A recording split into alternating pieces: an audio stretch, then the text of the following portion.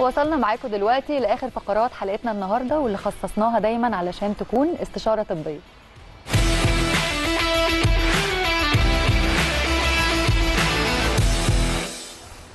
الرسول عليه الصلاة والسلام قال إن لجسدك عليك حقا وعشان كده إحنا لازم نحافظ ونهتم بصحتنا لأننا نتحاسب عليها يوم القيامة. فإحنا ضيفتنا اللي منورانا النهارده في الاستوديو في فقرة الاستشارة الطبية الدكتورة مي عبد اللطيف أخصائية التغذية العلاجية وعلاج السمنة من الفريق الطبي لشركه لشركة On Target Pharma عشان تكلمنا في موضوع شاغل بال ناس كتير جدا وإحنا داخلين أهو على الشتاء. آه، يا ترى هنعرف نخس؟ في الشتاء ولا لأ؟ ونخس أكتر في الشتاء ولا بنخس أكتر في الصيف؟ وهنعمل إيه مع الشتاء؟ الشتاء ده فصل عظيم جدا إنه ده فرصة هايلة جدا جسمي بيديني هدية إن أنا أقدر أخس بكل سهولة. وده طبعا عكس معتقداتنا وأفكارنا إحنا فاكرين ان إحنا في الشتاء. بنقلب بقى وهناخد فرصتنا ناكل براحتنا ونيجي قبل الصيف بقى نبدأ نلحق نفسنا ونعمل search على جروبات النت الدايت السريع الإنقاذ السريع والدايت الكيميائي. عشان نلحق إيه بقى؟ ننقذ الكوارث اللي الساحل. بالظبط كده. فالشتاء ليه أنا أقدر أخس بسهولة كمان؟ يعني مش محتاجة في فصل الشتاء إن أنا أنزل الجيم أو إن أنا أعمل حركة كتير بالعكس أنا ممكن أخس وأنا قاعدة في البيت بشوية حاجات بسيطة كده. لأن أنا جسمي بيعمل إيه؟ إحنا درجة حرارة الجسم الطبيعية كام؟ 37 طبعا في الشتاء ساعات في أماكن كتير بيبقى الجو بيبقى فيها بالماينس بيبقى برد وفي. ثلج فأنا عشان جسمي يفضل محافظ على درجة الحرارة اللي هي 37 دي هيبدأ يحرق من الدهون الداخلية عشان يديني الدفء اللي جسمي لازم يحس بيه ويديني الطاقة اللي أنا محتاجاها. بس طبعا هو مش هيحرق الدهون من نفسه يعني لازم أنا أساعده في المقابل يعني.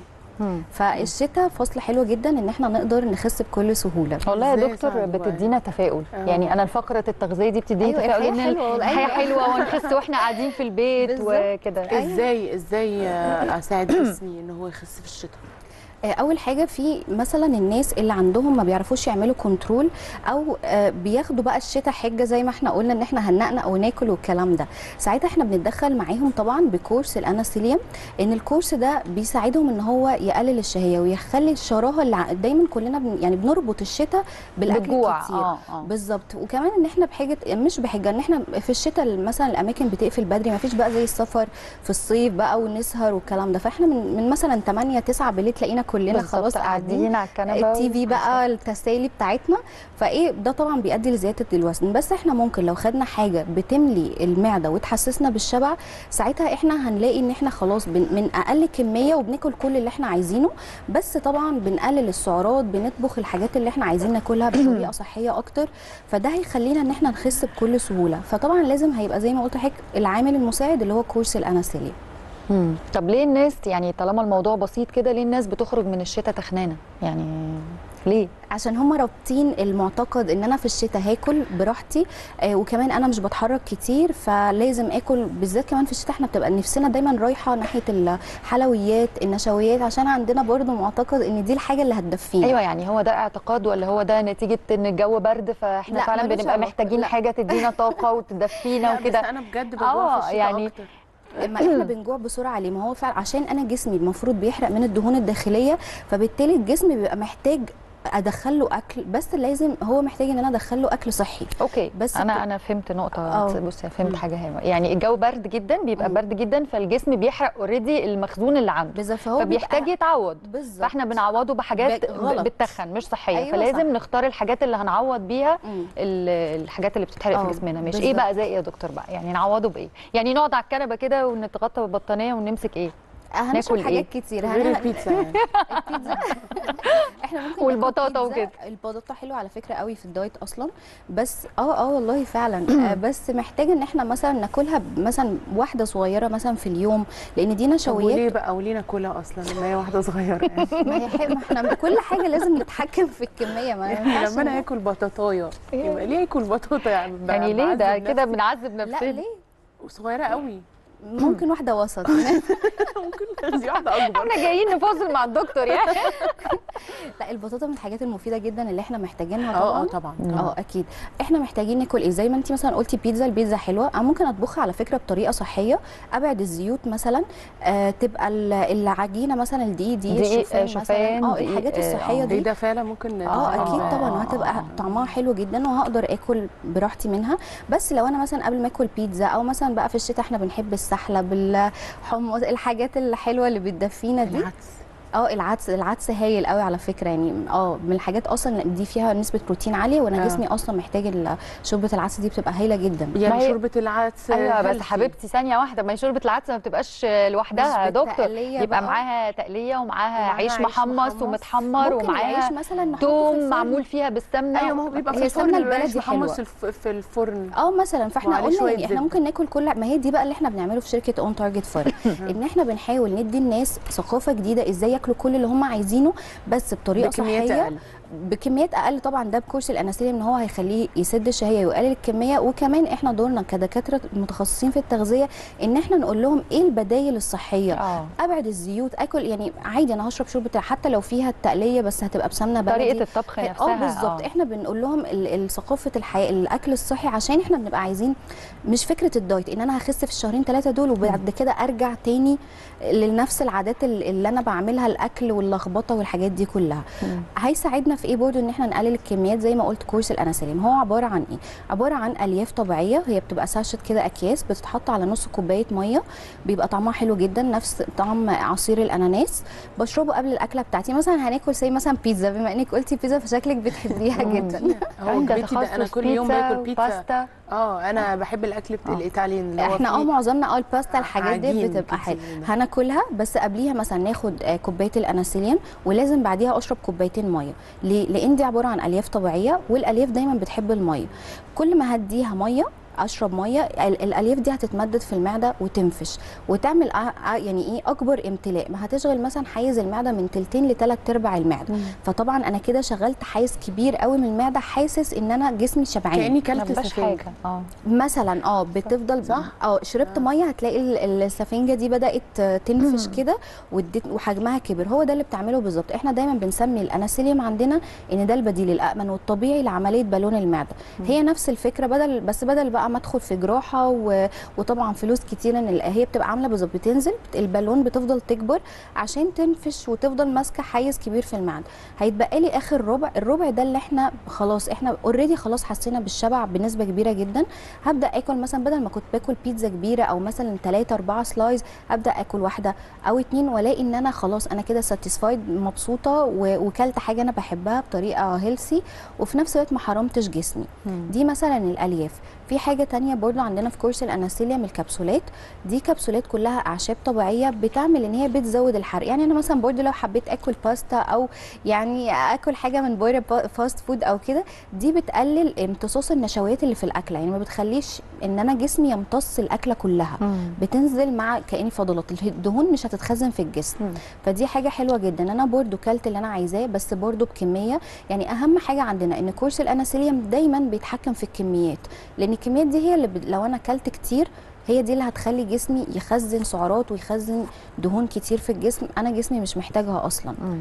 طيب. طيب. عايزة أسألك على حاجة آه أنا. دلوقتي خدت كورس الأنستيليوم وكده بعد ما ببطله اولا ببطله إمتى دي أول حاجة مم. بعد ما ببطله هل برجع تاني يعني زي ما بيقولوا بالبلدي معدتي بتصغر ولا آه. برجع تاني آكل بنفس الكميات اللي كنت باكل بيها قبل ما آخد الكورس. ده تمام آه أول حاجة إحنا لأ آه هي فكرة المعدة المعدة بتتمدد أصلا صح الناس اللي عندها سمنة إن هي خلاص عو... الجسم اتعود إن أنا طول الوقت عمالة أديله أكل فخلاص حجمها كبر فدي برضو وظيفة كورس الاناسيليم إن هو لما بينفش في المعدة هو مش بينفش إن هو يكبر الحجم لأ هو بيشغل حيز جوه عشان يحسسني بالشبع مم. بس بيرجع عايزين نخلي المعدة ترجع تاني للحجم بالظبط. الطبيعي اللي ربنا خلقنا بيه عشان الشراهة اللي كانت عندي خلاص تبدأ تقل. وكمان لو أنا مثلا بطلت أو أنا خلاص وصلت لل- للوزن المثالي بتاعي وخسيت وأنا كده مش عايزة أعمل دايت تاني أو مثلا في ناس بتحب تثبت بتفضل مكملة على كورس الاناسيليوم بس بنبدأ نقلل الجرعات بالتدريج. مم. ساعتها لو أنا حتى وقفته خالص أنا مش هرجع تاني لأن أنا خلاص عودت معدتي على الحجم الطبيعي اللي كانت مفروض أصلا تبقى هي ده حجم المعدة بتاعي مم. فأنا خلاص سستمت جسمي إن بدأ ياكل في أوقات معينة بكميات معينة بطريقة أكل صحية أنا خلاص عمري ما هرجع تاني إن أنا وزني يزيد و...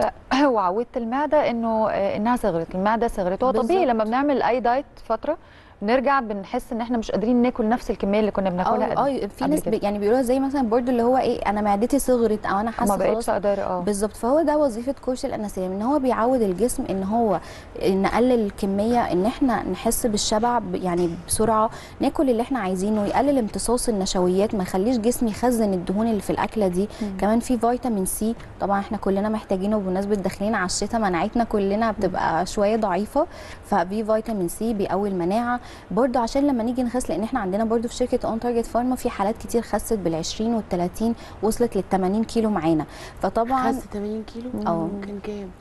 لا ما شاء الله لا كانوا معديين ال الناس 100 بتبقى- 130 آه. 100 يعني طيب. يعني من كلامك يا دكتور كده بتقولي إن الشتاء فرصة هايلة. جداً، طيب طبعاً. اللي عايز يخس ومش عارف يخس وعايز يتواصل معاكي يتواصل معاكي إزاي آه عن الأرقام اللي ظاهرة على الشاشة مكالمات واتساب وفي عندنا على ال official pages آه على الفيسبوك On Target Pharma وال official page بتاع دكتور نهال حافظ وعلى الانستجرام On Target Pharma هيبدأوا يبعتوا لنا وفي زي application كده اونلاين بيبدأوا في أسئلة الوزن والطول ببقى عايزة أعرف شوية تفاصيل أكتر عن الحالة اللي معايا وبنبدأ نتواصل معاهم وخلاص بقى بنبدأ مع بعض معانا كل حاجة. طلعت على الشاشة.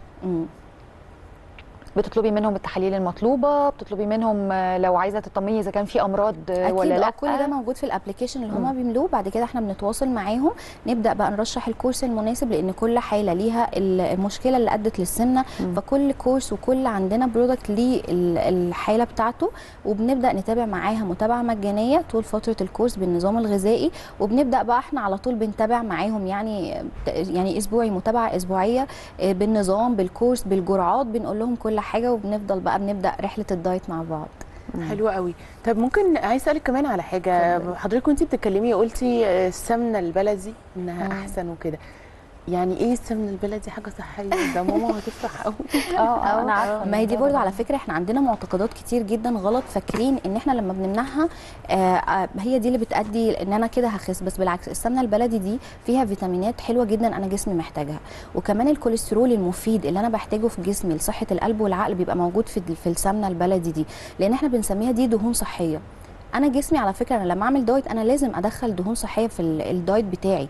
في ناس برضو بتبقى فاكرة إن أنا لما امنع الدهون دي أنا كده هخس. مم. أنا كده مش هخس بشكل صحي. أنا كده هنقلل الفيتامينات في الجسم هقلل المعادن هقلل مناعة جسمي الكوليسترول اللي أنا محتاجاه هيروح لخبط هأدي إلى إن الهرمونات اللي في جسمي كلها تتلخبط كأنه الدهون دي هي البنزين اللي بي- بيحرق. هي اللي بتديني الطاقة أصلا. يعني بس أهم حاجة أخلي بالي برضو من الكمية لأن الدهون، الدهون دي آه. بتبقى سعراتها عالية قوي فلازم أخلي بالي. طبعا عشان كده إحنا لما نيجي نعمل نظام غذائي مش صح ان أنا ادخل على النت واعمل اي. diet واشوف مم. لأن كل جسم ليه الاحتياج بتاعه السعرات بتاعته الكمية بتاعته وإحنا كمان لازم النظام الغذائي مع ان إحنا الكورس فانا لازم بمشي الاثنين مع بعض الكورس هي مثلا الحالة اللي معايا واخدة عبارة عن إيه وهل واخدة ألياف آه هل هي مثلا مشكلتها إن هي ما عندهاش حرق يعني في ناس بيوصل لها آه حالة لسه كنت هسألك في موضوع آه. الحرق ده فعلا طيب دلوقتي كورس الاناسيليوم بيحل مشكلة الشهية. بيقلل بيحسس الشعور بالشبع آه. بيساعدنا إزاي في موضوع الحرق في ناس مثلا عندها مشاكل صحية زي مثلا خمول الغدة الدرقية. لو حد عنده خمول في الغدة أو مثلا ناس كانت بتعمل diet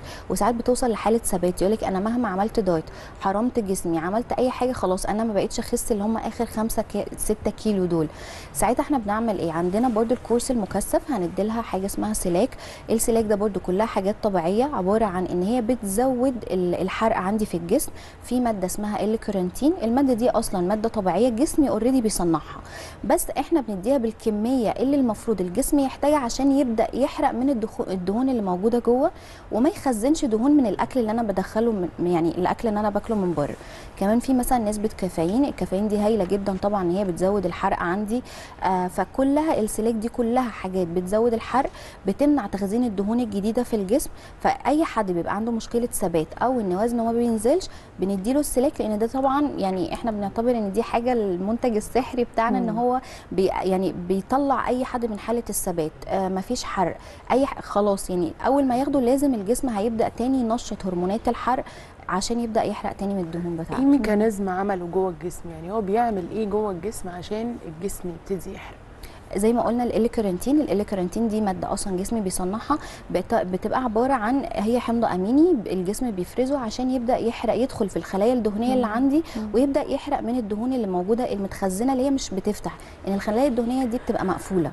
فالاليكارنتين ده وظيفته إن هو بيفتحها عشان يبدأ يطلع الدهون من من جوه عشان تبدأ خلاص يحصل لها بقى إن هي تطلع من الجسم ويخلي الخلية تقفل ولما يجي اكل أكل من بره ما يخزنش دهون تاني. فالاليكارنتين أو مثلا الكافيين كل الحاجات دي وفي كروميوم برضو الكروميوم برضو مادة من المواد الهائله جدا اللي بتزود الحرق الدهون. فدي كلها إحنا يعني اشتغلنا في السلاك كلها عن حاجات حوارق إن هي تحرق الدهون مهما كانت حالة بقى ثبات الوزن آه في مشاكل مثلا زي الغدة ما فيش هرمونات حرق أصلا. فهننشط الجسم إن هو لازم هيحرق من الدهون بتاعته. تمام. آه، كبار السن بقى والناس اللي عندها أمراض مزمنة أو الناس اللي بتكسل حتى تنزل تعمل رياضة في الشتاء آه، هيقدروا يخسوا عادي بالكورس؟ أكيد. آه طبعا الناس اللي عندها إن كورس الاناسيليم برضو آمن جدا لأصحاب مرضى الضغط السكر وللأطفال كمان. كان عندنا حالات برضو في شركة اون تارجت فارما أطفال من مثلا أطفال من ثلاث سنين فقدرنا إن إحنا نديهم الاناسيليم لأن هي عبارة عن كل الحاجات أصلا حاجات طبيعية فيتامينات فألياف الاناسيليم آه بطعم الأناناس فحتى لو طفل هيشربه كأنه بياخد عصير أناناس مفيش مشكلة. آه للأطفال قصدي اللي عندهم برضو مرض السكر هيقدر ياخده لأن هو أصلا في مادة بتعمل على إن هي بتظبط نسبة السكر في الدم. مع إن هو يعني طعمه مسكر ممكن في ناس كتير تقول لنا يا دكتور طب هو طعمه مسكر بطعم الأناناس إزاي مش هيعلي سكر الدم؟ لأن المادة اللي فيه ما بتعليش السكر في الدم في مادة السكرلوز المادة دي واخدة يعني موافقة من هيئة سلامة الغذاء والدواء فمش بتعلي نسبة السكر ملهاش سعرات حرارية فهو آمن على كل الفئات ال- أصحاب أمراض مزمنة حتى لو واحدة في فترة الرضاعة ممكن تاخد ألياف الاناسيليم بكل أمان ما فيهوش أي مشكلة. طيب قولي لي بقى في ناس عندها شره ليلي للأكل يعني أول ما الساعة تيجي 8 بالليل أبتدي أجوع بقى مم. عايزة آكل طول الليل آه، آه، مش ملاحظة يا هند إن إحنا مثبتين الفقرة دي نصايح لينا إحنا إحنا نصايح عمالين إحنا عمالين يعني. نعمل الفقرة الطبية كل ون- حاجة غلط بعملها آه علشان نأكد لينا ونأكد للناس على الحاجات إحنا, إحنا. نفسنا برضو أنا كمان ساعات باجي بالليل بحس إن أنا مش عارفة مثلا أعمل control أو ببقى محتاجة إن أنا برضو آخد مثلا أستعمل لا. control إيه هو جوع بالليل هو مش قصة آه، ما control هي دي هو حاجة ممكن أقعد طول النهار ما اجوعش وأجوع بعد هو ده الساعة غلط 8 لأن أنا ما ينفعش أحرم جسمي طول اليوم. جسمي. محتاج عشان يديني لا الطاقة. ثانية واحدة بس يا دكتور إحنا ما بنحرمش الجسم طول اليوم حضرتك فاهمة غلط. إحنا ما. بنحرمش. الجسم خالص. هي بس الفكرة ليه بيحصل ده؟ يعني ليه بيحصل شهية؟ مفيش حرمان. ليه قال؟ إن في حرمان؟ ليه؟ لأن أنا جسمي عشان يديني الطاقة. اللي تخليني اللي تخليني أقدر أنزل شغلي وأروح بقى أشوف حياتي وأبدأ اليوم بتاعي عشان يديني الطاقة دي. هو محتاج إن أنا أدخله أكل صحي عشان ياخد منها الفيتامينات والمعادن. فأنا طول اليوم بقى عمالة اكل في نشويات هو جسمي مش محتاج النشويات هو جسمي محتاج بروتين مم. محتاج ألياف محتاج فاكهة محتاج آه، خضار okay. فطول ما أنا مش بديله اللي هو عايزه. هيفضل يحسسني كل ساعتين هتلاقيني جعانة يعني مثلا لو أنا أكلت باستا مثلا ما أكلتش أي ما دخلتش فيها إحنا قلنا هندخل باستا عادي على فكرة برضو معانا في ال diet بس لازم أدخل معاها بروتين أدخل سلطة لو مم. أنا ما اد- ما اديتش لجسمي الحاجات التانية العناصر الغذائية اللي هو محتاجها أنا كمان ساعتين هلاقي نفسي جعانة مع إني واكلة مثلا. طبق باستا كبير بس هلاقي نفسي جوعت بسرعة لأن جسمي زي ما هو هيديني الطاقة هو محتاج مني برضو. الفيتامينات اللي هيخليني أقدر أكمل اليوم ما يحصليش هبوط آه، ما أحسش إن أنا همدانة ودايخة ويديني الطاقة اللي أنا محتاجاها. طيب آه، كورس الأناسيليوم آه، هنقلل بيه الأكل؟ هيحسسنا بالشبع؟ مش هيقلل الفيتامينات الموجودة في جسمنا؟ لا طبعا لأن هو أصلا عبارة عن كله فيتامينات وحاجات طبيعية زي ما إحنا قلنا. الألياف دي أصلا هي اللي موجودة في الخضار زي اللي موجودة في الخيار وفي الخس بس طبعا نسبتها بتبقى عالية جدا نسبة الألياف 15 أو 20 ضعف اللي موجود في الخضار والفاكهة. فأنا اديت جسمي حاجة طبيعية مفيدة في فيتامين C مهم جدا طبعا للمناعة آه، مهم للبشرة. عشان زي ما أنا قلت لسه إن في عندنا حالات خست لحد ال 80 كيلو. والحمد لله ما حدش مثلا في ناس تقول لك انت خاسه شكلك آه، آه، تعبانه طبعا اللي على الوش آه، اللي ما يقع كده. آه. تحت آه لا الفيتامين C طبعا بيدي اللي هو ال- النضارة للبشرة الامتلاء بيحفز إنتاج الكولاجين.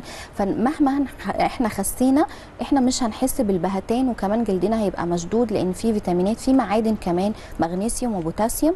دول هايلين جدا للناس اللي عندها كمان مشاكل زي الإمساك أو مشاكل في القولون.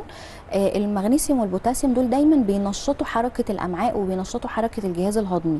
فأي حد كان عنده مثلا إمساك مع الألياف آه، لما الألياف يشربها آه. هتحسن حركة ال- المعدة. فكلها مم. حاجات طبيعية بالعكس إحنا بندي للجسم فيتامينات هو محتاجها. إن شاء الله يا دكتور. يعني أنا بتمنى كل الناس الله. تاخد وأنا يعني اولهم بالنصايح دي. انت شرفتينا يا دكتور مي ونورتينا. معاكم جدا. وأكيد هتبقي موجودة معانا في حلقات آه، حضراتكم دي كده حلقتنا النهارده خلصت. يا ريت نكون قدرنا نوفر لكم آه، معلومات مفيدة ومهمة وتكونوا استمتعتوا بحلقة النهارده. خلصت حلقتنا استنونا بكرة الساعة 3 في حلقة جديدة من الحريفه